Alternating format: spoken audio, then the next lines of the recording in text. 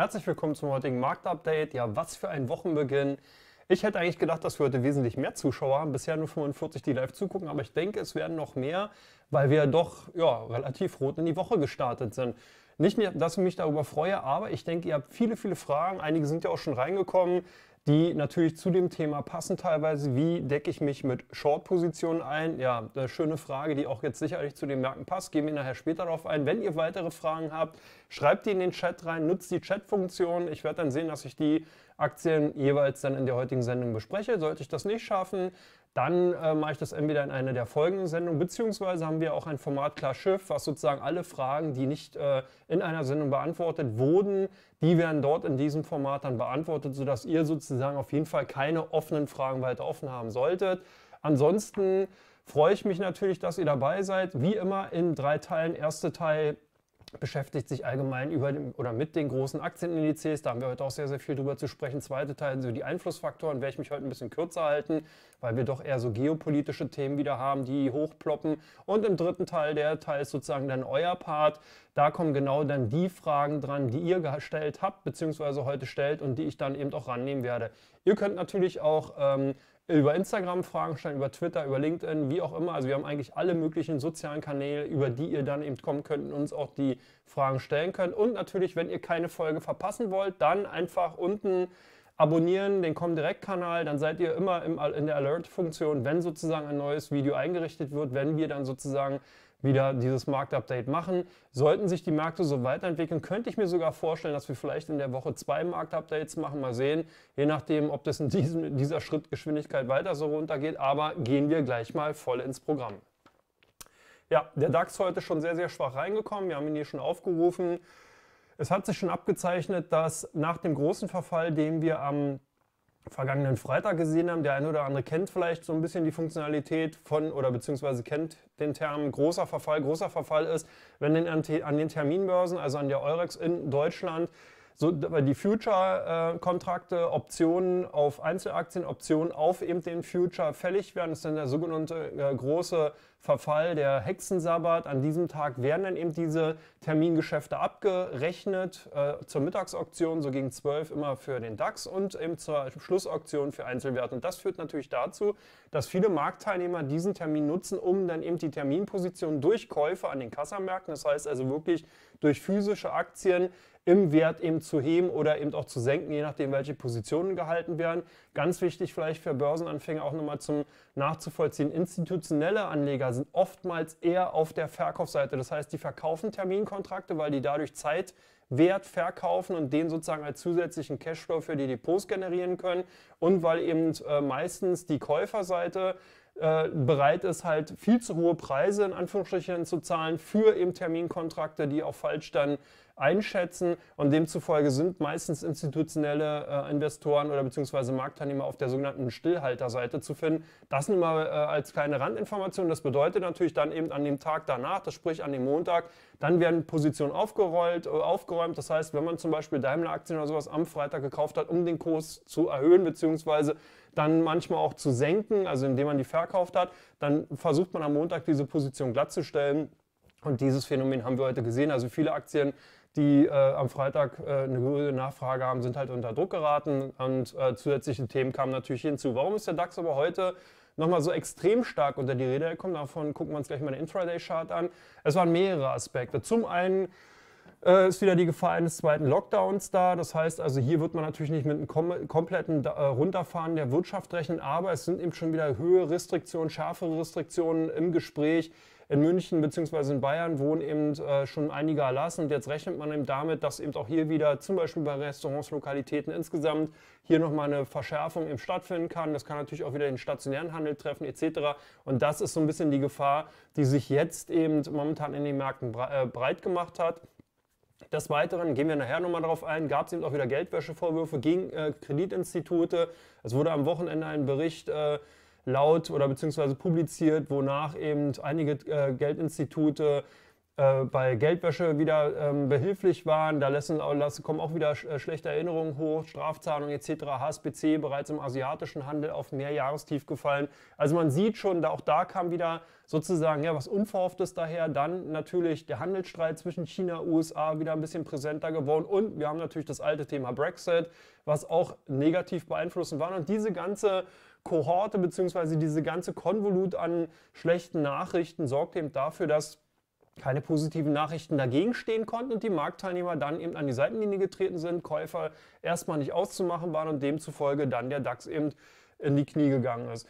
Dass wir heute diese relativ große rück, äh, äh rückläufige Bewegung sehen von 4,5 Prozent, hat eben auch damit zu tun, wir sind im September und Oktober und da ist immer das Problem, dass zum einen impulsloser Handel eben ist und zum zweiten, dass selbst wenn jetzt Quartalzahlen bald anstehen, also wir haben im Oktober sozusagen wieder dann die Abrechnung für das dritte Quartal, dass diese Zahlen oftmals nicht so aussagekräftig sind und dass das Problem besteht, dass natürlich hier ein sehr, sehr hohes Bewertungsniveau im Vorfeld bereits erreicht worden ist oder wurde und dass dann natürlich die Gefahr besteht, dass einfach große negative Überraschungen kommen können. Wir haben das im Jahr 2018 bereits gesehen, zum Beispiel bei Amazon und Apple, die dafür gesorgt haben, dass es ja mächtig eins auf die Glocke gab für die Aktienmärkte. Da haben eben dann beide Unternehmen nochmal stärker gewarnt und die Marktteilnehmer sind dann eben an die Seitenlinie gesprungen und das kann man eben kann man immer wieder mal feststellen, dass genau solche Zahlenwerke bzw. solche Publikationstermine immer wieder, wie gesagt, so eine Art schwarzer Schwaneffekt haben man, oder grauer Schwan besser. Man rechnet zwar oder man weiß, dass da was kommen kann, aber man kennt die Auswirkungen nicht und ist dann sozusagen trotzdem überrascht. Des Weiteren ist natürlich die Fantasie einer lockeren oder expansiveren, also noch expansiveren Geldmarktpolitik von der EZB und von der US-Fed auch aus dem Markt weitestgehend draußen. Das heißt, dass man hier einfach momentan die Situation hat, es kann nichts mehr stützen, es kommen erstmal, man wird nicht weiter die Zinsen im negativen Bereich absenken können. Man erwartet jetzt auch nicht, dass hier größere Stützungskäufe sozusagen stattfinden oder dass eben noch mehr äh, Anleihekäufe eben stattfinden. Also es ist, eine Situation, die eigentlich abzusehen war. Und ich habe auch an dieser Stelle öfters mal und auch in dem Podcast, den ich äh, rausgebe mit äh, Come On, immer wieder darüber gesprochen, dass natürlich der September prädestiniert dafür ist. Das heißt, dass Ende September meist so eine Phase ist, in der es wirklich stürmisch werden kann, je nachdem, wie insgesamt natürlich die Gemengelage ist, können natürlich dann die Kursverluste größer oder kleiner ausfallen, aber es wird in der Regel immer nochmal holprig werden. Nur haben wir hier einen relativ großen Buckel momentan oder einen Rückgang oder ein Loch gesehen im, im Markt und das kann auch noch nicht das Ende sein. Wenn man sich nämlich hier ein bisschen weiter auf ähm, äh, auf einer längeren Perspektive ansieht, dann sieht man durchaus die Bereiche, in die es nochmal gehen kann, 12.1, 12.150 oder 12, 12.250, weil eben bis dahin sozusagen kaum eine Kaufneigung da ist. Marktteilnehmer stehen eben an der Seitenlinie und warten. So, jetzt habe ich relativ lange über den DAX gesprochen, exemplarisch natürlich auch für den Eurostox 50 anzuwenden. Da gehen wir auch nochmal gleich ganz, drauf ein, ganz kurz darauf ein. Im Endeffekt ist aber eine 1 zu 1 äh, äh, Spiegelung oder Abbildung schon möglich. Europa. Und ähm, da ist er. Und hier ein bisschen stärker die Finanzwerte natürlich wieder unter Druck. Das hat eben genau damit zu tun, dass eben wieder die Geldwäschevorwürfe heute laut geworden sind. Insgesamt kann man festhalten, der Eurostox in den letzten Wochen eher Underperformer gewesen, das heißt ein bisschen schlechter performt als der DAX. Aber in den letzten Tagen hat man eben durch äh, Fusionsfantasien im Geld, äh, im Bankensektor gesehen, dass da eine leichte Outperformance zu sehen war. Aber ansonsten verhält er sich quasi eins zu eins die Korrelation zum DAX oder andersrum die DAX-Korrelation zum Eurostox ist sehr, sehr hoch und unverkennbar. Nun ja blicken in die USA. Da ist der Fokus natürlich auf ähm, Indizes. Natürlich ganz klar in Richtung Handelsstreitigkeiten, Handelskonflikt zwischen ähm, China und den USA zu sehen und natürlich die ganze Problematik rund um das Thema Covid, Covid-19 beziehungsweise dann eben die zwei, sogenannte zweite Welle. Und äh, da sieht man schon, der S&P ist ja im Vorfeld sehr, sehr hoch, sehr, sehr stark hochgelaufen, hat wesentlich besser performt eben als der DAX. Hier sieht man das, hat sogar die Höchstkurse, die Verlaufskurse aus dem Februar rausgenommen und ist äh, fast bis an 3600 Punkten ran. Jetzt sehen wir einen stärkeren Rückgang.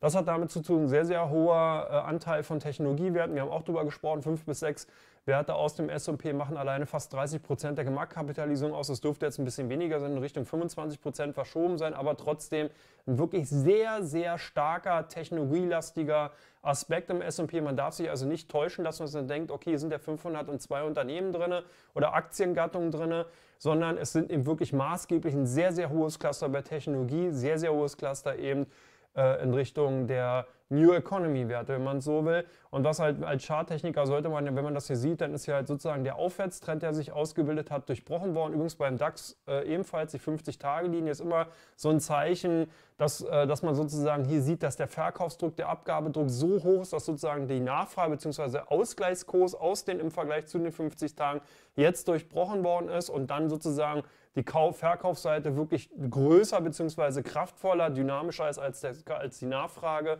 Und das sieht man ähnlich auch im, im SP 500. Also hier würde ich auch vorsichtig sein. Ich glaube sogar, dass wir hier durchaus nochmal in Richtung 3000 Punkte laufen können. Wäre auch wünschenswert, weil wir haben hier eine sehr, sehr starke Performance gesehen, ohne nennenswerte Korrekturen. Die muss einfach korrigiert werden. Also das heißt, selbst wenn es nochmal rückläufig ist in Richtung 3000 Punkte, dann wäre das durchaus wünschenswert. Und ich kann mir das auch vorstellen, dass das tatsächlich passiert. Wir werden in den nächsten Tagen noch einige schlechte Nachrichten bekommen. Dann gehen wir nochmal auf den NASDAQ 100. Der ist nämlich auch nachgefragt worden. Da gehe ich auch gleich nochmal ein. Das war nämlich eine Frage aus, äh, von, über Instagram, die uns erreicht hat. Wie weit kann der NASDAQ noch fallen? Äh, eine berechtigte Frage, weil hier wirklich sehr, sehr hoher spekulativer Charakter drin ist. Das heißt, hier ist unheimliche Euphorie drin. Man hat sehr stark auf Technologiegesetz, die sogenannte, der, das Konstrukt, die Hosse nährt die Hosse. Das heißt, Werte laufen wie eine Apple, wie eine Amazon, wie eine Microsoft, die, die funktionieren einfach, die performen. Dann springen andere Investoren auf, weil sie denken, das ist ein Selbstläufer. Dann springen noch mehr Investoren auf, dann springen Kleinanleger drauf. Und dann ist sozusagen diese Welle, die sich da aufbaut, so groß, dass sozusagen diese, dann, wenn es eben mal zum Verkaufen kommt oder zur Verkaufsdruck kommt, der Notausgang zu klein ist. Und das heißt, dann sprengt sozusagen diese ganze Masse im Endeffekt versucht dann nur noch durch so einen kleinen Ausgang zu gehen und das sorgt eben genau dafür, dass man eben größere Verluste sieht, obwohl erstaunlicherweise heute der Rückgang, wie man hier sieht, nur knapp 2% eigentlich nicht so hoch ist wie beim S&P 500. Das hat genau auch damit zu tun, dass wir eine sehr starke Ausspaltung gesehen haben in den letzten Wochen zwischen New und Alt Economy. Alt Economy läuft nicht, gehen wir nachher auf einzelne Werte nochmal drauf ein. Das heißt, ganz, ganz starke Probleme in der Realwirtschaft. Die New Economy, alles was mit Onlinehandel zu tun hat, Cloud Computing und so weiter, profitiert natürlich von Digitalisierungsdruck, von der globale, globaleren Aufstellung. Das heißt, man muss keine Waren hin und her schicken, sondern man bietet Dienstleistungen länderübergreifend über eben Internet an.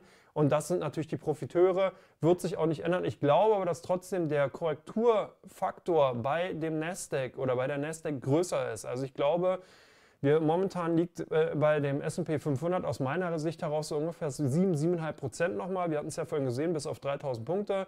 Ich denke, dass wir hier bei dem, beim Nasdaq durchaus nochmal hier unten in Richtung 9, 7, 9, 8 laufen könnten. Das heißt vielleicht 8, 8,5, 9 Prozent Korrekturpotenzial auf jeden Fall. Ist aber auch kein Beinbruch. Wünschenswert wäre sogar hier nochmal ein schöner Retest von dem Verlaufshoch auf den Februar. Dann würde man die ganzen schwachen Hände sozusagen rausschütteln und dann würde danach nochmal eine eine schöne Gegenbewegung laufen können. Könnte ich mir vorstellen, ich bin im Übrigen auch für 2021 wieder relativ bullish. Also was heißt wieder, ich bin relativ bullish. Ich glaube, dass man da ein sehr, sehr gutes Börsenjahr auch wieder sehen wird. Aber bis dahin wird es holprig bleiben. Bis dahin werden wir einfach noch mal ein paar größere Kurskorrekturen sehen.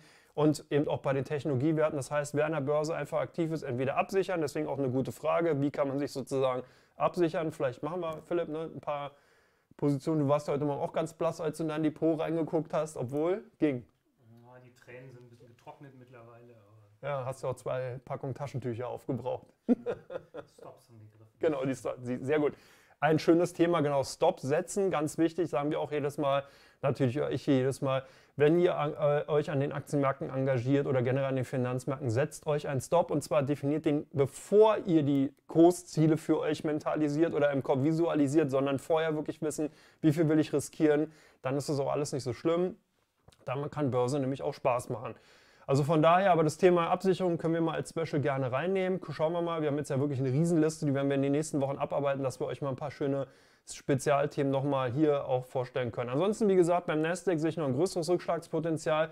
Klar kann man jetzt sagen, ja, da sind ja noch weiterhin große Wachstumszahlen, da sind halt weiterhin Märkte vorhanden, die eben abgedeckt werden können. Aber, und das ist ganz wichtig, ist es alles, alles eingepreist. Ein ganz, ganz wichtiger Indikator, der auch sehr interessant ist, den man aber leider so in der Form nicht abbilden kann, ist der sogenannte IPO-Indikator. Den hatten wir bereits schon mal 2000, 2001 gesehen. Wenn nämlich die Marktteilnehmer anfangen, IPOs überproportional oder überdimensional zu zeichnen, beziehungsweise sogar am ersten Tag dann noch bereit sind, hinter den ohnehin schon höheren Platzierungspreisen nochmal hinterher zu rennen und nochmal ein Aufgeld von teilweise 100, 150 oder 200 Prozent zu bezahlen, dann kann irgendwas nicht stimmen. Man muss sich halt vorstellen, wenn ein Unternehmen an die Börse geht, dann sind da Analysten, da sind begleitende Investmentbanker da, die berechnen einen sogenannten fairen Wert für diese Aktien. Und dadurch, dass die meisten Banker eigentlich keine Vollidioten sind, sondern die schon wissen, wie so eine Aktie fair bewertet ist, setzen die dann den IPO-Preis fest und lassen halt noch ein wenig Luft für Aktionäre, dass man eben sagt, wenn ihr die jetzt kauft und sozusagen ein Jahr oder zwei Jahre haltet, dann habt ihr da noch eine Art Gewinn drin, weil natürlich das Unternehmen auch zukünftig Gewinne machen wird und so weiter und so fort oder sich entsprechend entwickeln wird. Das heißt, man, man lässt ein bisschen Raum drin, aber man lässt halt keine 100 oder 150 Prozent. Das ist ja auch ganz logisch, weil wenn das Unternehmen tatsächlich so einen Wert hätte, dann würden die doch auch mit so einer hohen IPO-Spanne an den Markt gehen. Die haben doch nichts zu verschenken. Ein Unternehmen wird doch nicht in der Form sagen, ich platziere mal mein Unternehmen zur Hälfte des Marktpreises, damit eben andere dann nochmal 50 Prozent geschenkt bekommen, weil dieses Wert soll ja, oder diese Werte oder diese Gelder, die eingenommen werden, die sind ja dafür da, um eben das operative Geschäft voranzutreiben, um Arbeitsplätze zu schaffen und so weiter und so fort. Also es hat wirklich einen operativen Sinn. Oder wenn ein Unternehmen eben sagt, wir wollen eigentlich gar nicht alle unsere Aktien platzieren oder nur einen Bruchteil, dann reduziert man eben teilweise auch diese Spanne und nimmt halt nur wirklich das Geld ein, was man eben gebrauchen kann und fängt halt nicht an, sich irgendwelche goldenen Rettungsschirme oder irgendwelche schnellen Autos zu kaufen, sondern eben wirklich nur fürs Geschäft. Deswegen, und wenn halt anfängt, sie zum Beispiel eine Snowflake, die mit 120 US-Dollar platziert wird, am ersten Tag auf 250 hochschießt, tut mir leid, dann ist, die, dann ist da irgendwas nicht mehr so richtig in, im Gleichklang. Und immer ein sehr, sehr gutes Zeichen, dass eine Korrektur bevorsteht, das kann man sehr oft sehen. Philipp, du warst bei Snowflake dabei. Nein, du musst ja deine Boeing auch irgendwie finanzieren, ja. Okay. Sind wir, genau, dann mit dem ersten Teil schon durch. So ein paar kleinere Sachen noch am Rande gewesen, genau, die vielleicht ganz interessant äh, für euch sein kann. LPO-Indikator und eben die allgemeine Marktverfassung. Dann gucken wir jetzt noch ganz schnell auf den Euro-US-Dollar. Der ist nämlich auch immer ähm, sehr wichtig. Moment, ich habe hier gerade ah, Währung, genau. Habe da gerade Tomaten auf den Augen oder eben hier ist der Euro und sieht auch relativ stabil und das ist eben auch ein Zeichen in der Handelsspanne 1,17,5, 1,19 in den letzten Tagen immer schön hin und her gependelt, eben seit dem äh, Euro-Ministertreffen, EU-Gipfel sozusagen ging es hoch, jetzt hat man, ist man in dieser Seitwärtsbewegung drin. Ein gutes Zeichen auch dafür, wenn eben jetzt heute ein stärkerer Kursrückgang im Euro zu sehen gewesen wäre in Richtung US-Dollar, hätte ich gedacht, Achtung, Alarmanlagen, hier sind wirklich Gelder, Nettoabflüsse an den europäischen Finanzmärkten zu sehen.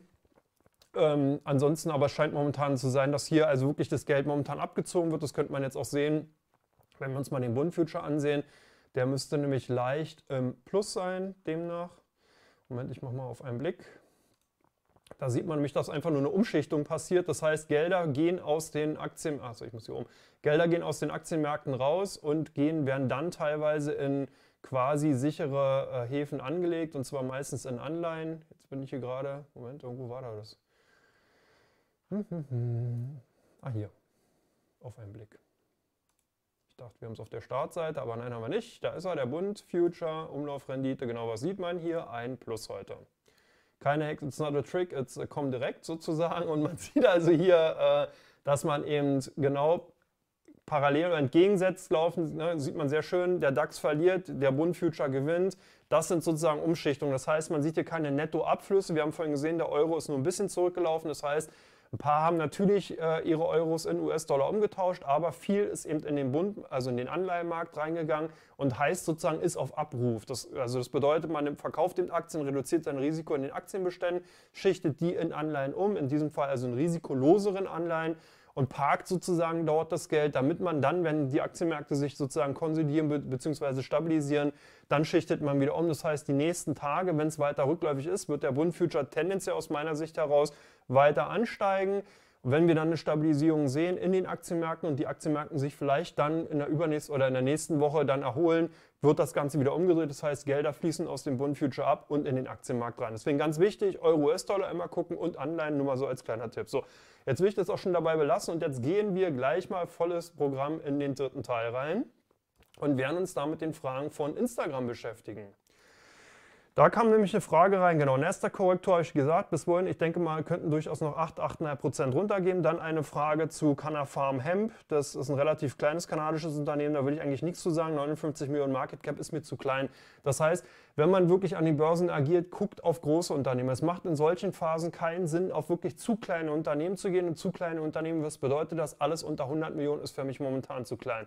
Große Investoren gucken nur auf große Unternehmen, weil jetzt die Volatilität hoch ist. Das heißt, selbst eine Daimler oder eine Allianz oder also so Standardwerte, die schwanken jetzt schon teilweise am Tag 4, 5, 6 Prozent. Warum soll ich als Investor in kleinere Unternehmen reingehen, die diese Tagesschwankungen dann nur größer teilweise noch ausspielen, das heißt teilweise 10, 15 oder 20 Prozent am Tag schwanken?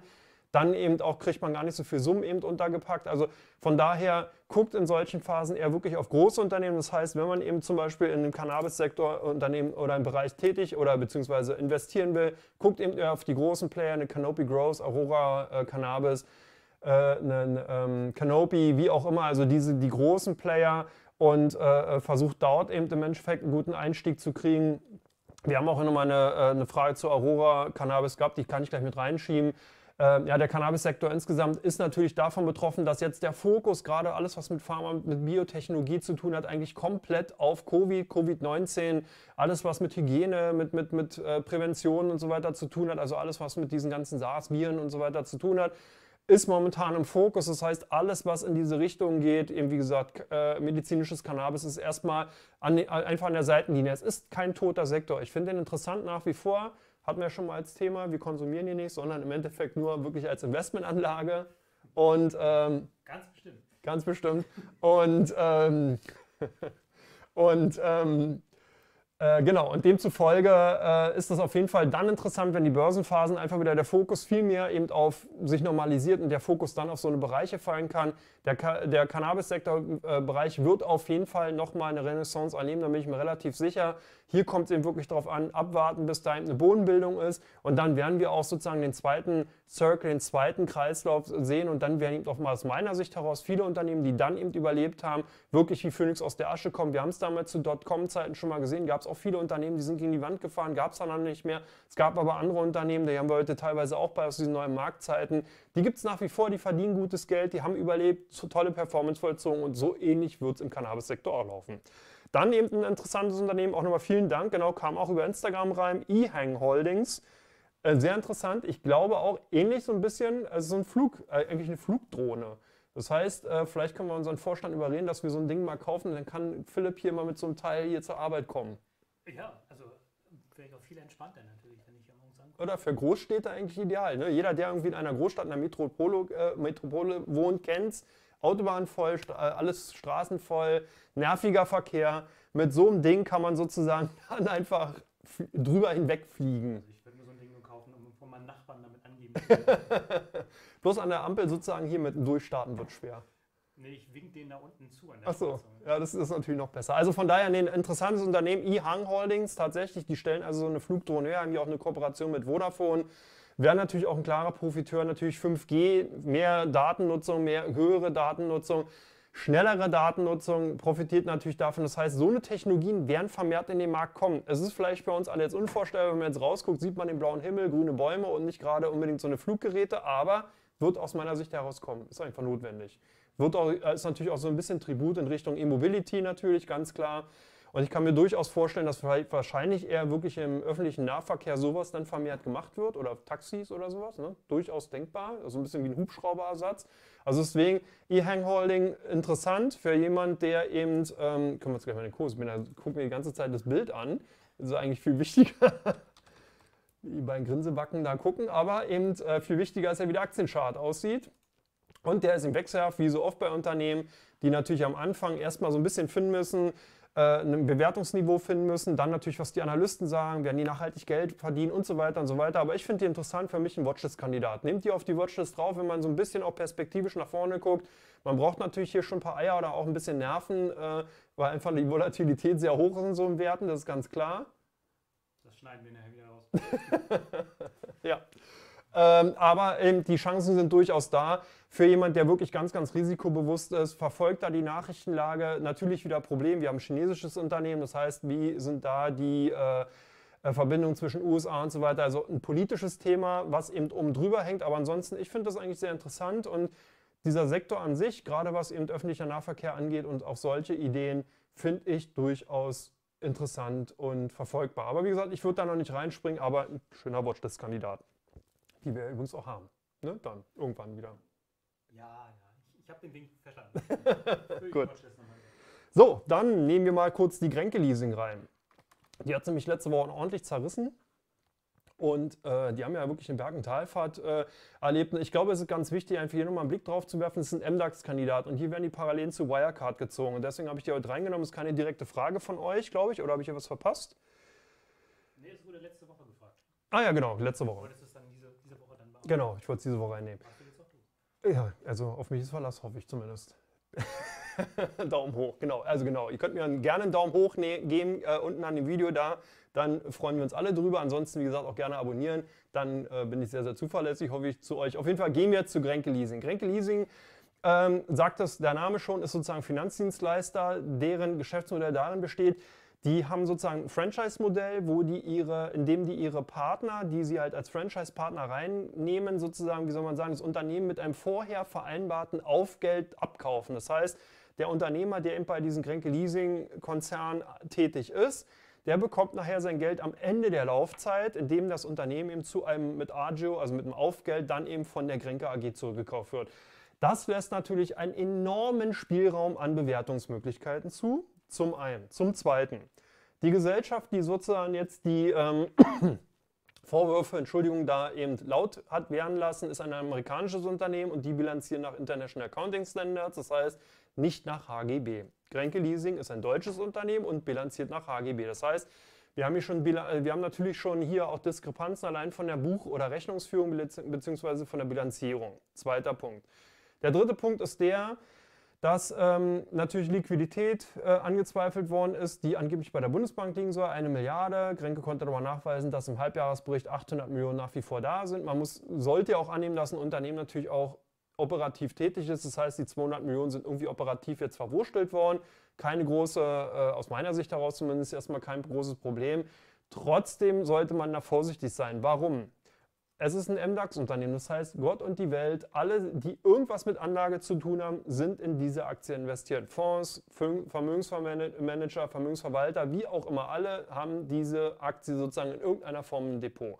Das heißt, wenn eben da weiterhin mehr negative Nachrichten kommen sollten, wenn da irgendwelche Zweifel laut werden, dann reicht es wirklich, wenn eben einer davon die Nerven verliert und dann kann eben so eine Art Lawine losgetreten werden, dass die Aktien nochmal ordentlich unter Druck kommen. Aber auf der anderen Seite, ich will nochmal eine Fürsprache für die Aktie halten.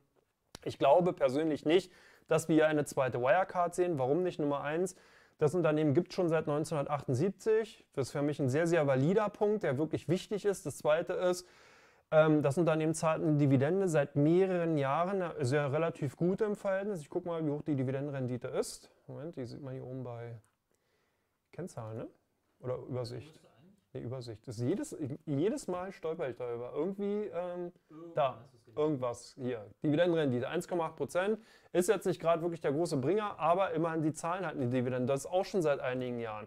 Dann nicht zu vergessen, wie gesagt, es sind halt äh, auch wieder honorige Wirtschafts- und Bilanzprüfer eben an diesem Unternehmen dran. Gut, was jetzt Philipp lacht und wackelt. Nein, okay, honorische Bilanzprüfer, ich weiß, ist ein Oxymoron, aber na nu. Ich habe zustimmend genickt. Ach so, okay, nein.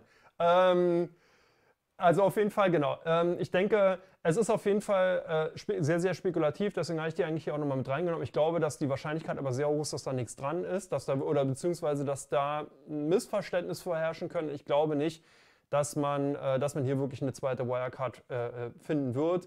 Es kann aber im schlimmsten Fall halt sein, dass die Aktien einfach auf diesem Niveau noch eine Weile dahin dümpeln werden. Das heißt, dass man hier einfach eine Seitwärtsbewegung sieht und wirklich keinen großen Blumentopf gewinnen kann.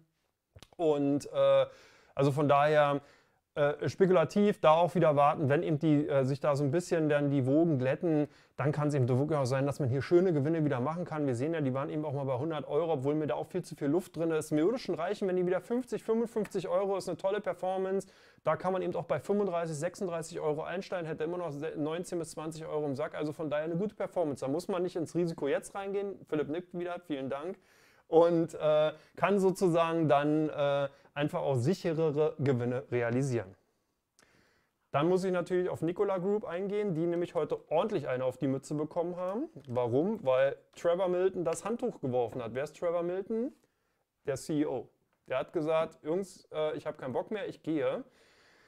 Das hat dann die Aktie auch gemacht und zwar rückwärts Richtung Süden und gute 25 Prozent im Hoch verloren. Wir sehen hier immer noch, 6, 22 äh, Prozent stehen hier noch auf der äh, Agenda.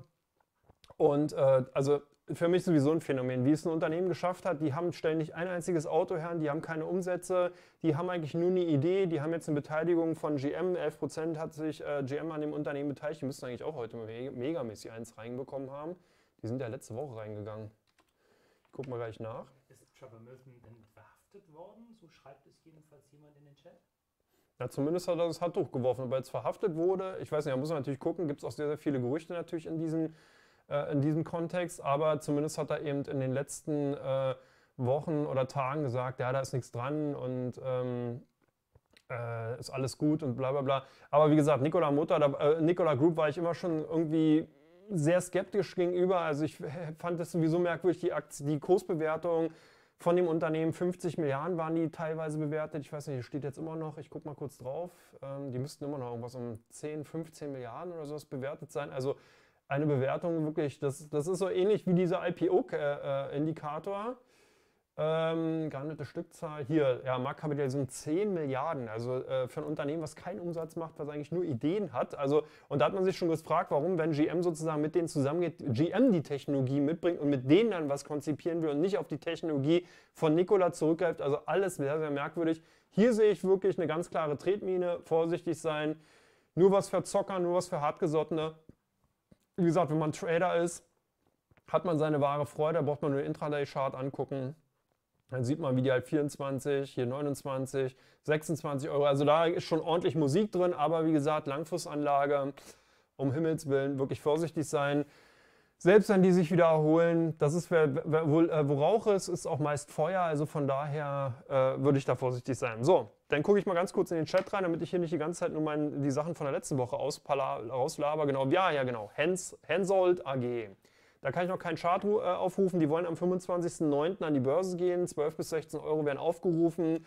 Ist ein Radarhersteller, Rüstungs, also im weitesten Sinne ein Rüstungskonzern. Und ähm, da muss man halt nochmal ganz klar sehen, welche Situation haben wir momentan. Die ähm, einzelnen Länder und Staaten sind ganz klar momentan von Covid-19 eingenommen. Das heißt, hier hat man, wenn man so will, eine sehr starke finanzielle Belastung auf der Gesundheitsseite, auch in allen, äh, im, im, äh, die Wirtschaft läuft nicht mehr so gut. Wo wird man, also womit kann man in der Zukunft rechnen? Natürlich mit der, auf der einen Seite mit Steuererhöhung, also oder generell äh, Abgabenlasterhöhung und auf der anderen Seite natürlich mit Kürzung, Budgetkürzung, Haushaltskürzung. Und da wird der Rüstungskonzern oder Rüstungsbranche natürlich mit drunter leiden. Das heißt, man wird eben so einen alten Leopard 2 einfach nochmal ein paar Jahre länger fahren und man wird natürlich dementsprechend auch Radargeräte, Radarstationen auch einfach nochmal ein, zwei, drei oder fünf Jahre länger dann eben nutzen. Und aus dieser Sicht heraus hat, ist es dann auch verständlich, warum KKR und Airbus, ähm, Airbus Defense sich sozusagen in diesem Zuge dann jetzt von ihrem ähm, ja, von den Beteiligungen sozusagen trennen wollen. Ich würde, sage ich mal so, ich würde die Aktien vielleicht jetzt nicht gleich beim IPO kaufen. Ich würde auch tendenziell oder zeichnen, ich würde die tendenziell auch erstmal beobachten, weil ich mir nicht vorstellen kann, dass wir hier wirklich ein, ein Unternehmen sehen, was wirklich durchs Dach schießt, an, äh, wo die Aktienkurse keinen Halt mehr kennen und sozusagen eine Snowflake 2 hinlegen, sondern ich glaube, dass man hier eben tendenziell wirklich ein Unternehmen vorfindet, was sich einfach etablieren muss, wo man einfach sehen muss, wie entwickelt sich das, was, wie laufen die Unternehmensverträge, was für, also was für Aufträge kommen rein. Und man kann dann sozusagen gemütlich einsteigen. Und wenn man eben Interesse hat an das Unternehmen, dann eben investieren. Ich würde jetzt hier bei diesem IPO nicht unbedingt hinterherrennen. Ich würde wirklich dann tendenziell erwarten, Zeichnungsgewinne sehe ich momentan nicht. Börsenphase ist eh sowieso momentan relativ heiß und da tun sich dann Investoren teilweise schwer, wirklich in solche Unternehmen reinzugehen. Also von daher nur eine Meinung von mir. Wenn ihr natürlich Interesse habt, die Aktien zu zeichnen, weil ihr eine andere habt, dann ist es auf jeden Fall gutes Recht. Ich denke auch, äh, derjenige wird dann eben auch gute Argumente dafür haben, was ich auch hoffe und nicht dieses IPO-Hopping machen. Das ist, denke ich mal, in dieser Form jetzt einfach zu kritisch. Da kann man sich ganz schnell die Finger verbrennen. Wirklich, wenn ihr eine andere Meinung dazu habt, dann zeichnet die Aktien, alles gut, aber wie gesagt, nicht mit in, einer, in Abzielung auf irgendwelchen Zeichnungsgewinnen. Diese können nämlich ganz schnell daher und futsch sein. Übrigens, ist die Aktie tatsächlich auch um uns zeichnen, also zeichnbar? Also Ach so, hast du geguckt. jemand dran teilnehmen möchte, jetzt nach deiner Brandrede, trotzdem noch. Ja, Genau, also genau, gerne dann eben die Zeichnungsaufträge an, entsprechend abgeben und äh, dann sozusagen, wenn ihr es wollt, über die kommen direkt zeichnen. Ansonsten in der Form, wie gesagt, guckt euch, macht euch, bildet euch eine eigene Meinung. Auf schnelle IPO oder Zeichnungsgewinne würde ich da nicht aus sein. Vor allen Dingen guckt halt auch, an welchen, äh, in welchem Bereich der IPO-Preis festgelegt wird. Wird er eben am oberen Band festgelegt, dann sieht man, dass eben auch die Nachfrage relativ hoch ist. Wird er eben niedriger festgelegt, merkt man, oh, okay, ist die Nachfrage ist nicht so hoch. Also von daher hat man da auch selbst bei solchen äh, Aktienplatzierungen immer auch die Möglichkeit, einfach ähm, selber so eine Art Indikation eben äh, für sich rauszufinden. Also von daher beobachten, aber wie gesagt, ich würde jetzt da nicht groß einspringen. So. Ähm, ein Zuschauer hatte eine Frage, Ja. die, die auch mich jetzt mal brennend interessiert. Ja. Und zwar, er schreibt, deine Stimme kommt ihm so bekannt vor. Und ob du früher vielleicht mal Sprecher warst? TKKG, drei Fragezeichen. Wer warst du? Tarzan, Karl oder Klößchen? Äh, ich, Oder Gabi die Pfote? ich war Gabi die Pfote. Nein. Äh, nee, ich habe keine synchronen äh, Sp- Schauspielerausbildung oder irgendwas gemacht in der Form. Nein, ich bin kein, äh, war vorher nicht tätig. Vielleicht hat man mich mal am Börsenparkett rumschreien gehört. Das kann sein, irgendwelche Übertragungen im Fernsehen. Das kann möglich sein. Ansonsten bin ich kein äh, Synchronschauspieler oder Sprecher. Nee, eigentlich nur hier. Okay, dann haben wir Ja. das ja auch. Also vielleicht kann ich mir nächstes Mal so, eine, so, eine, so, einen- so einen Handschuh oder so, einen- so eine Socke anziehen und versuchen als Bauchredner. Oder du machst das und ich synchronisiere. Oder andersrum, wir tauschen und ich synchronisiere dich. Oh, das wäre wär- ein ganz neues Format. Oder? Wie, viel, wie, wie viele Leute da Genau. abschalten. Ne? Das, das wäre dann sozusagen Börse verschränkt. Ver- und beschränkt. Oh nee, lassen wir es. Okay, egal. Ähm, genau, ich schaue mal ganz kurz rein, damit ich hier. Äh, genau, Grüße aus Warnemünde, ja, Grüße zurück. Äh, Hamburg, Hamburger Read. Genau, dann nehmen wir die einfach mal mit rein. An, an Immobilien-Reads hatten wir öfters mal. Ich glaube auch, dass sowas natürlich in äh, schwankungsreichen Tagen einfach sieht man auch schon, die halten sich relativ stabil, sind auch abgestraft worden.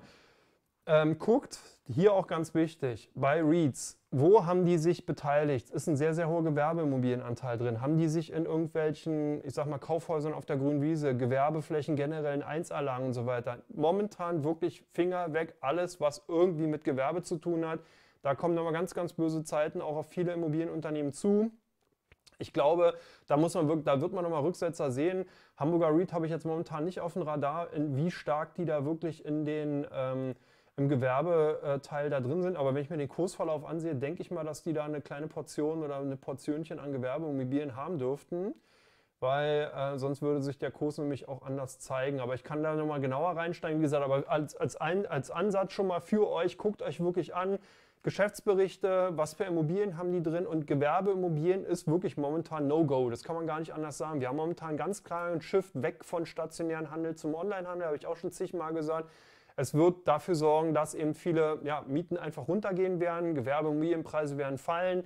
Es wird nicht mehr so stark eben natürlich nachgefragt. Interessant könnten solche Dinge werden. Lagerplätze, natürlich Lagerhallen könnten eben im Preis nochmal steigen. Aber ansonsten äh, Gewerbeimmobilien auch immer schwierig von der Rechtslage. Wenn eben ein Unternehmen in die Insolvenz schlittert, dann kann der Vermieter einfach, ja, k- guckt er in die Röhre, weil der kann sozusagen nackten Mann nicht in die Tasche fassen.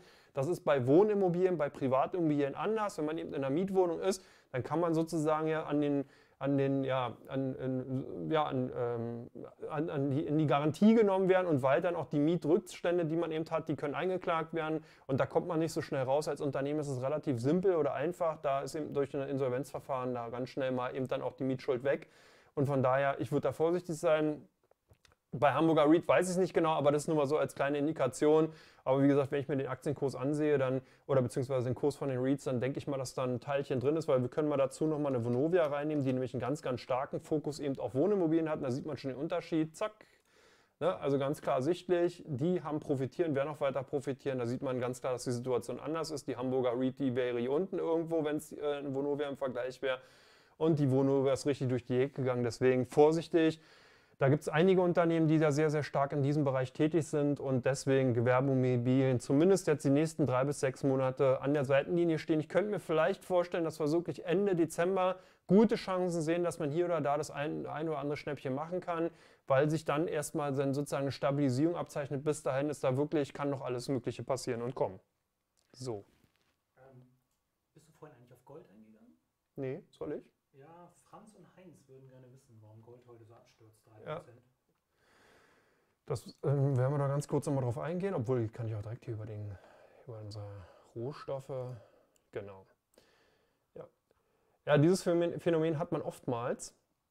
Und zwar ähm, dient Gold natürlich, also man hat sozusagen, ähm, also sogenannte Asset-Allokation hat ja damit zu tun, dass ich sozusagen sage, ich investiere momentan Geld risikovoll, indem ich dann sozusagen alles, was außerhalb von Cash und von, also von, von wirklich bar oder von liquiden Reserven und dazu zähle ich jetzt auch Staatsanleihen, also 1 AAA, also wirklich 1A-Anleihen oder AAA-Anleihen, also wirklich sehr, sehr hochwertige.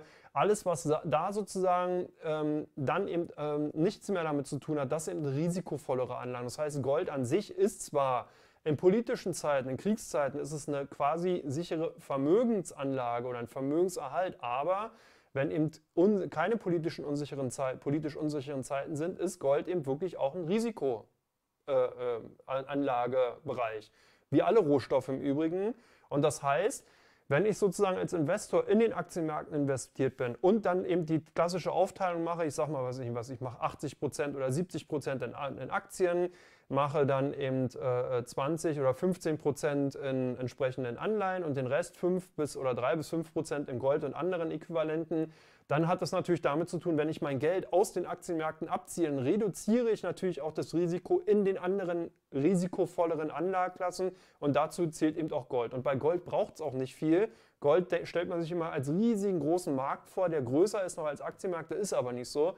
Ich habe ja auch immer gerne das Beispiel, wenn man sich so ein klassisches Schwimmbecken vorstellt, 50 Meter, äh, äh, na, drei Meter tief oder vier Meter tief, also normales, großes Schwimmbecken. Das ist das komplette Gold, was bisher seit Menschengedenken insgesamt nur gefördert bzw. verarbeitet worden ist. Mehr ist es nicht. Also wirklich dieses große, große Schwimmbecken voll, das ist das ganze Gold, was so, ein, also ein bisschen länger, 55 Meter müssten es sein, mal irgendwie drei oder vier Meter tief. Das ist diese große äh, Rechteck oder wäre dann sozusagen, oder beziehungsweise Quader, wäre, wäre dann sozusagen die, die Menge an Gold, die produziert worden ist und die geht eben momentan an den Börsen über Terminkontrakte eben umher. Und das ist genau der Grund, wenn da also der ein oder andere mal ein paar hundert Millionen abzieht oder eben insgesamt mal eine Milliarde abgezogen wird, dann sieht man eben das auch schon in den Kursen. Von daher ganz normal. Und man sieht ja auch insgesamt, dass Gold sehr volatil ist, eine sehr hohe Schwankungsbreite hat. Wir haben es hier im August schon gesehen. Da kann, er hat dem Gold auch nochmal ganz stark korrigiert. Und wichtig in diesem Zusammenhang ist, auch wenn wir jetzt hier sozusagen unter diesem Bereich sind, dass, ähm, dass man dann eben einfach auch damit natürlich, wenn man in Gold investiert, einfach damit rechnen muss, dass eben so eine Volatilität, Volatilitäten entstehen. Und man muss eben, wie gesagt, die gesamtpolitische Gemengelage auch immer im Auge behalten. Das heißt, Risikozeiten sorgen immer auch dafür natürlich, dass äh, dann eben die Flucht in solchen vermögenssichernden Werten, wie zum Beispiel auch teilweise der Bitcoin ja auch so eine Art digitales Gold geworden ist, eben zunimmt, wenn aber eben eher wirklich Volatilität herrscht, weil man eben allgemein Unsicherheit in den Finanzmärkten hat, wenn man einfach sozusagen wirklich nur Gelder abzieht, an der Seitenlinie stehen bleibt, dann trifft das eben auch bei den, bei den Edelmetallen zu. Und wir sehen das übrigens auch, haben wir bei dem Corona-Crash auch gesehen hier obwohl ja sozusagen Covid-19 ja quasi eine politisch, also quasi ein, Systemrisiko war, hat es eben auch erstmal Gold zerrissen und danach kam eben erst dieser Wunsch nach sicheren Vermögenswerten oder nach einem sicheren Vermögensverhalt und da hat eben Gold von profitiert. Und deswegen sind solche kurzen Korrekturen eben generell, wenn die Aktienmärkte sowieso schon volatil sind, nichts Außergewöhnliches, kann durchaus passieren und halt aber, hat aber nichts damit zu tun, dass man hier einen grundsätzlichen Paradigmenwechsel sieht. Ich denke, dass wir weiterhin hier eine Konsolidierung sehen, was natürlich auch immer wieder gerne gemacht wird, ist, größere Marktteilnehmer versuchen dann so ein bisschen Hektik reinzubringen, indem man solche Phasen nutzt, eben, um eben so eine Konsolidierungsbewegung nach unten zu drücken. Wichtig ist, schaut euch den Goldpreis weiter an. Sollte dieser Bereich 1900 US-Dollar Pi mal Daumen halten, ich bin hier nicht so spitz dabei, sondern würde ja sagen, wird sie 19, 1910 oder sowas, dann ist es weiterhin ähm, durchaus, ähm, äh, durchaus äh, äh, anlegen, also durchaus weiterhin positiv zu sehen. Und ähm, dahingehend äh, würde ich hier noch keinen Paradigmenwechsel eben bei Gold annehmen und würde das weiterhin auf jeden Fall auf der Watchlist behalten. Hier ist gerade die Kamera rausgegangen. Ja, jemand hat das Kabel rausgezogen. Sorry. So, Genau, dann machen wir noch weiter und zwar die Deutsche Post. Da war nämlich auch noch eine Frage, was machen wir mit der Deutschen Post oder mit den Aktien der Deutschen Post. Die ist natürlich heute auch erst mit unter die Räder gekommen, aber man sieht hier eben eher so den defensiveren Charakter. Das heißt, dass die Deutsche Postaktien, Logistikbereich, und hier ist ganz wichtig, ähm, die ist natürlich sehr, sehr, sehr stark auch von einem möglichen Lockdown betroffen. Das heißt, wenn äh, hier, ja, wie gesagt, Geschäfte wieder geschlossen werden sollten, dann kann auf der einen Seite zwar der private, äh, Geschäfts-, äh, der private Versandbereich zulegen, aber eben der Geschäftsbereich, der auch sehr, sehr wichtig ist für die Deutsche Post, der wird wieder rückläufig sein. Das heißt, die Deutsche Post ist für mich so eine Art Hidden Champion erst dann, wenn beide Bereiche wieder anfangen zu laufen. Das heißt, wenn wir sozusagen jetzt den Shift weg vom stationären Handel zum Onlinehandel haben wir gesehen, der wird auch nicht mehr umkehrbar sein. Das bleibt, das bleibt so. Jetzt, wenn dann aber der gewerbliche Teil, der B2B-Part auch wieder an Schwung aufnehmen würde, nach einer zweiten Coronavirus-Welle, wenn die dann kommt oder da ist oder wie auch immer, dann kommt eben wirklich der Booster hinter und dann kommt eben auch wirklich die, äh, die Gewinn- oder Gewinnoptimierung oder beziehungsweise der starke Gewinnanstieg eben bei dem Konzern. Das heißt, Deutsche Post würde ich auf dem, auch weiterhin auf der Watchlist behalten. Ich denke, es ist ein guter Konzern, der auch in 2021 durchaus überraschen kann. Ich sehe durchaus 10, 15 Prozent Potenzial und das ist auch ganz wichtig. Ihr dürft nicht vergessen, eine durchschnittliche Rendite an den Aktienmärkten liegt ungefähr bei 7 bis 8 Prozent. Alles, was wir in den letzten Jahren gesehen haben, ist eigentlich, eigentlich, ja, wie soll man sagen, einzigartig bzw. nicht die Norm. Auch wenn ihr jetzt glaubt, ja, ich sehe das jetzt seit drei, vier Jahren, dass wir immer wieder stark ansteigende Aktienmärkte sehen, kann alles möglich sein, ist aber im Mittel nicht der Fall. Wir, sehen, wir haben auch jahrzehntelang Seitwärtsbörsen gesehen, man mag es nicht glauben. 60er, 70er Jahre gab es wirklich Phasen, wo die Aktienmärkte quasi nur seitwärts gelaufen sind.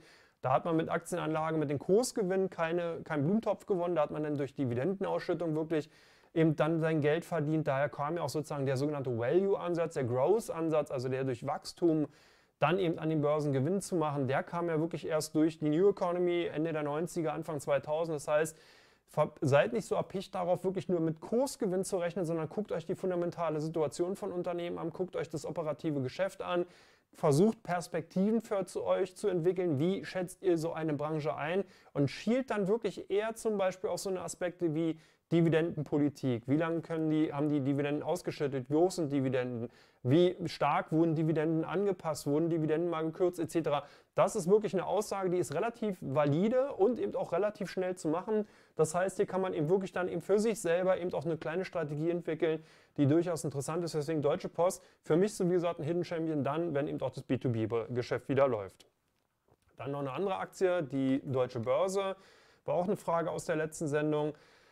Ist ein klassischer Profiteur genau von solchen Börsenphasen?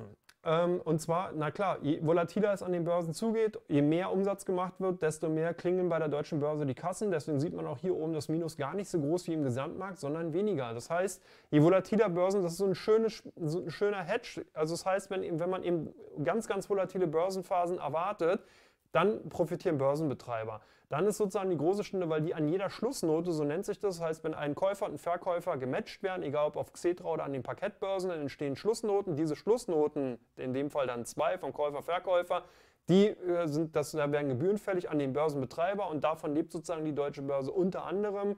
Und je mehr sozusagen solche Geschäfte abgewickelt werden, desto mehr klingen natürlich die Kassen. Interessant ist, die deutsche Börse wollte in der letzten Woche sich die Börse Italiana, Borsa Italiana einverleiben, also die Mailänder äh, Börse. Ist aber nicht zum Zug gekommen. Die Euronext ist momentan da. Also man sieht, die sind auf Expansionskurs. Die, äh, die Politik, die die, oder beziehungsweise Unternehmens, äh, das Management, Unternehmensführung, Unternehmenspolitik von der deutschen Börse ist momentan voll auf Expansion getrimmt. Die haben auch gesagt, dass sie weiterhin interessiert sind, eben Börsenbetreiber zu kaufen. Also von daher finde ich es interessant. Das operative Geschäft läuft bei denen sind ja auch bei TradeGate teilweise auch, oder beziehungsweise damit beteiligt. Also das heißt, sie sind sehr, sehr gut in Europa aufgestellt. Der deutsche Börsenplatz nach London insgesamt äh, in Europa äh, wirklich wichtiger Börsenplatz. Also von daher, ich denke, die deutsche Börse wird auch, sein, wird auch ihren Weg gehen. Auch wieder sehr, sehr gemächlich. Ja, man sieht ja hier zwar auch wieder in den letzten Jahren, ich habe es gerade gesagt, so 10, 20 Prozent pro Jahr konnten die im Schnitt dann eben Gewinn machen. Wenn man aber hier so mal ein bisschen länger schaut, ähm, dann sieht man auch ganz schnell, ich gehe mal auf Xetra, da sieht man hier auch ganz schnell, dass natürlich gemittelt es auch mal Jahre gab, hier wo, eben er seit, wo es eben eher seitwärts ging. Und da hat man eben dann als Börsianer tendenziell eher von den Dividenden gelebt. Hier natürlich auch wieder das Rausschießen, eben vor der Finanzkrise, dann der große Absturz, Seitwärtsbewegung, jetzt wieder das Rausschießen. Also es kann natürlich auch wieder rückwärts gehen, ganz klar. Aber ansonsten insgesamt Börsenbetreiber sind, wie gesagt, ist eine Plattformstrategie und Plattformstrategien laufen einfach. Das sieht man ja nicht nur bei den Börsen, sondern eben auch an anderen Unternehmen, die sich in diese Richtung aufgestellt haben. So.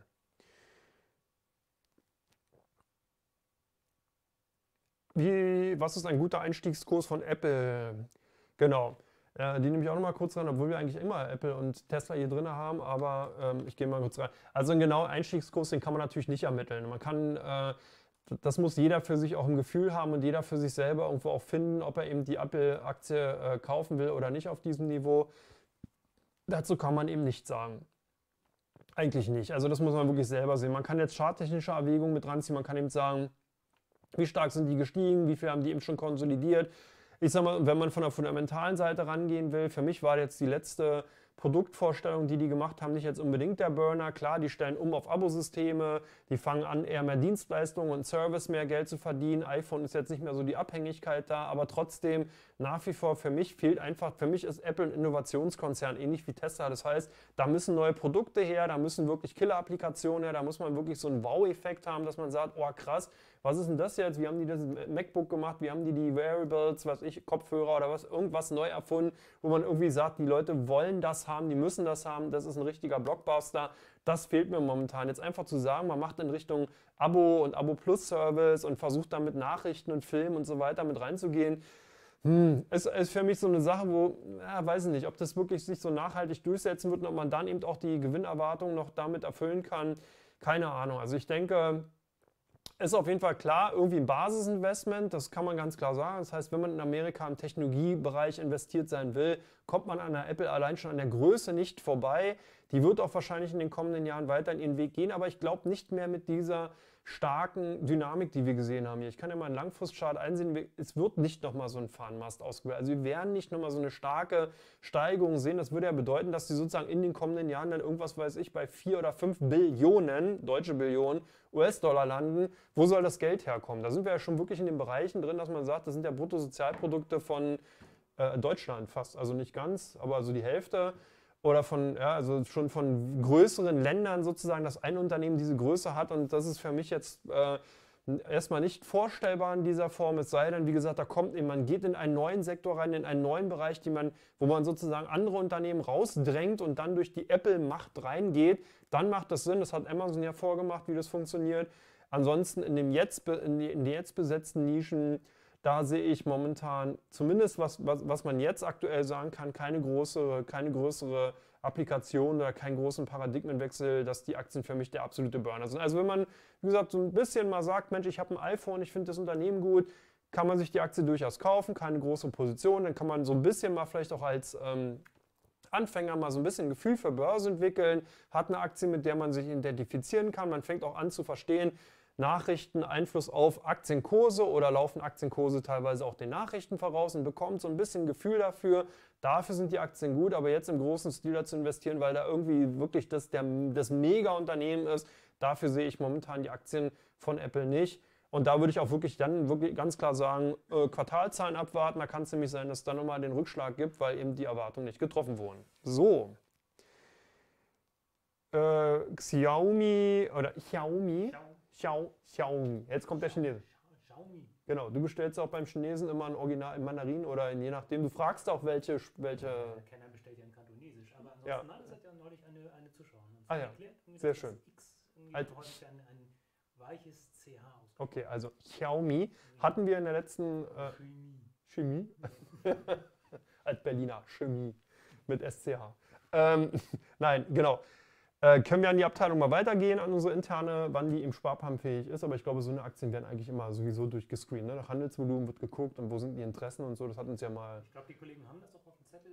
Ich weiß aber nicht, ob das vielleicht ein Problem sein kann, weil Xiaomi hier in Deutschland, glaube ich, als ADR noch genau. werden. Ne? Ich glaube, das mhm. könnte ein Problem sein. Ah, okay, alles klar. Ich glaube, die Kollegen wissen und. Die sind da schon sehr gut, genau. Wenn es geht, dann werden die das hinkriegen. Top, genau, so sieht's aus. Die haben alles im Griff. Genau. So, BYD und NIO. Ähm, Genau, die nehme ich noch mal, könnte ich auch nochmal mit reinnehmen. Die hatten, äh, sind nämlich auch interessant, gerade so mit Tesla, E-Mobility und so, haben nämlich auch ordentlich eine heute auf die Mütze bekommen. BYD insgesamt habe ich auch davor schon in den letzten Ausgaben gesagt, bin ich wirklich ein großer Fan, weil die nämlich nicht nur Autos herstellen, sondern eben auch in dem Batteriesektor tätig sind und nicht nur Autos für normalen so PKWs herstellen, sondern eben auch Busse und sich da relativ breit aufgestellt haben. Aber natürlich äh, nichts ohne Aber. Der Aktienkurs aktuell, ich finde den einfach zu stark angestiegen und zu teuer. Wenn ich mir halt ansehe, dass die halt im April irgendwas bei 5 Euro waren und jetzt im August sogar 57 und jetzt eben hochgeschossen sind auf 11 Euro, sehe ich da einfach eine dramatische Überbewertung. Wichtig generell, weil wir naja, auch noch ein paar andere Aktien auch aus China generell haben, äh, China ist aus meiner Sicht daraus ganz klar zu bevorzugen. Wenn dieses politische Risiko mit den USA nicht hochkocht, dann werden die chinesischen Unternehmen wesentlich schneller aus dieser Schwächephase rauskommen. Die haben momentan schon ein positives Wirtschaftswachstum, 5% nimmt die OECD an. Anderen äh, großen Volkswirtschaften, Nordamerika, Europa, also da auch alle einzelnen Volkswirtschaften weiterhin stark im Minus, 5 auch bis 7%. Man sieht also schon, China hat hier einfach ganz klar den, die Nase vorn, schießt vorweg und äh, das wird sich eben auch bei den Unternehmen zeigen, aber eben eher gemächlich. Immer noch ein Automobilhersteller, darf man nicht vergessen, auch wenn da sehr viel Immobility-Fantasie drin ist, für mich zu viel. Wenn man die Aktien hat, absichern, laufen lassen. Wenn man sie nicht hat, Rücksätze abwarten, Kurse irgendwas um 8,50, 9 Euro würde ich wieder interessant finden. Dann kann man überlegen, ob man da vielleicht was macht oder auch nicht. Ansonsten äh, ja, würde ich jetzt diesen Kursen nicht hinterherrennen, schon gar nicht in dieser Marktphase. Da kann es ganz schnell nochmal auf die Finger geben. Ähnlich ist natürlich auch bei NIO, ähm, obwohl also die Technologie natürlich auch interessant ist. Perspektivisch sind die Aktien insgesamt wirklich interessant. Ups, das ist ja falsch. Ich glaube, das hatte ich schon mal. Genau, NIO ADR muss ich nämlich eingeben. Ja, nee, Tai Unio. Ja, warte mal. Guck mal, Trefferliste Hm? oben über. Da? Ja. Trefferliste? Nee, auch nicht. Nehmen wir das ADR weg?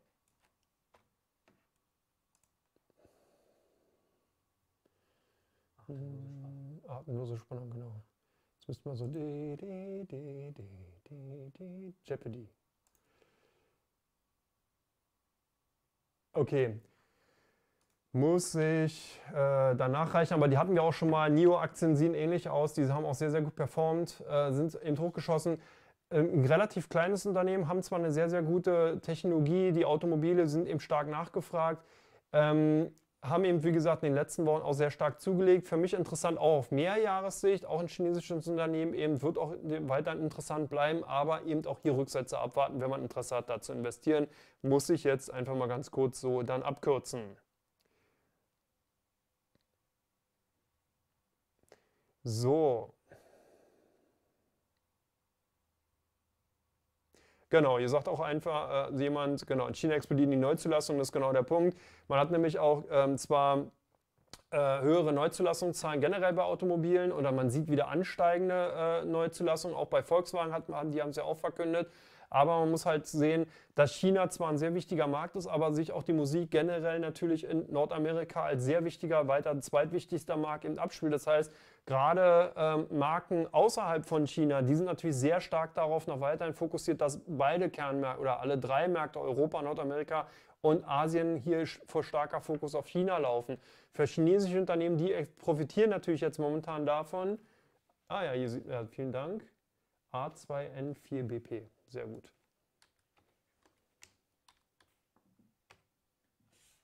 Da sind sie, NIO Inc. ADRs, genau. Man sieht also schon vom Kursverlauf her, sehr starker Anstieg hier von 2,50 jetzt auf 15 äh, Euro umgerechnet. Das ist einfach heftig und selbst wenn eben die Neulass Neuzulassung hier wirklich sehr stark ansteigen, das kann ja alles möglich sein, trotzdem ist eben, das ist ja eingepreist. Das ist genau in den Preisen momentan drin und man muss eben wirklich sehen, dass hier einfach äh, die Gefahr eines Rückschlags vorhanden ist. Ich sage ja nicht, dass man die Aktien verkaufen soll und die dann komplett vergisst. So, sowieso nicht, das ist ja auch nur eine Meinung, die ich habe, sondern generell vorsichtig sein. Ich würde den Kursen nicht hinterherrennen. Es gibt immer dann Chancen, dass die eben auch nochmal zurückkommen und dass dann sozusagen die Möglichkeit besteht, dass man da günstiger reinkommt. Langfristig sehe ich die NIO wirklich gut aufgestellt und glaube, dass die auch ihren ja, Weg gehen werden und dass man eben hier auch dann durchaus höhere Kurse sehen. Bloß warum soll ich denn jetzt ein Risiko eingehen, wenn ich auf zwei bis drei Jahre sozusagen bis dahin dann nochmal schwankungsreichere äh, Zeiten habe und dann sozusagen bis dahin eigentlich nur Risiko trage und kaum Chancen, beziehungsweise die Chancen dann erst später äh, zu sehen sind. So, genau, Cisco, die nehme ich nochmal mit rein. Jetzt sind wir schon wieder 18 Uhr. Die Zeit verrast, ist wirklich unvorstellbar. Cisco für mich so ein bisschen Urgestein. Das ist so wie eine IBM, nicht ganz so. Cisco ist damals in der, um den 2000er durch extrem viele Übernahmen äh, gewachsen. Die haben wirklich alles gekauft, was nicht bei drei auf dem Baum war. Teilweise bis zu 100 Übernahmen im Jahr von kleineren Unternehmen, alles was mit Netzwerk, Netzwerktechnologie zu tun hatte. Ich muss Nasdaq nehmen. Ups. Nicht die Wiederbörse, sondern die Nasdaq. So. Und äh, sind also wirklich sozusagen ein Star der Dotcom-Blase, wie man hier sieht. Für mich ist es eben auch so eine Art Basinvestment geworden. Die stellen eben wirklich Netzwerktechnologie her, die einfach ähm, unerlässlich ist. Die sind gut im Markt, die haben eben sich sehr, sehr gut positioniert. Die haben jetzt nicht unbedingt so eine Burner-Produkte wie eine Nvidia, wo ich jetzt sagen würde, oh, das ist ein Unternehmen, die werden wirklich nochmal richtig den Turbo einschalten. Aber es sind Unternehmen, die werden gemächlich in den kommenden Jahren einfach mit dem Markt mitwachsen.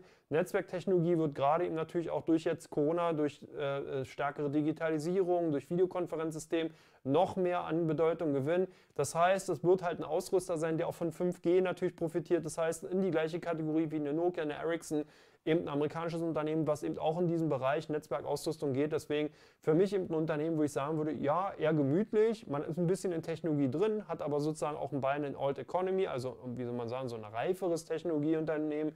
Nicht mehr jung und wild, schon ein bisschen in die Jahre gekommen, so wie beide, Philipp und ich.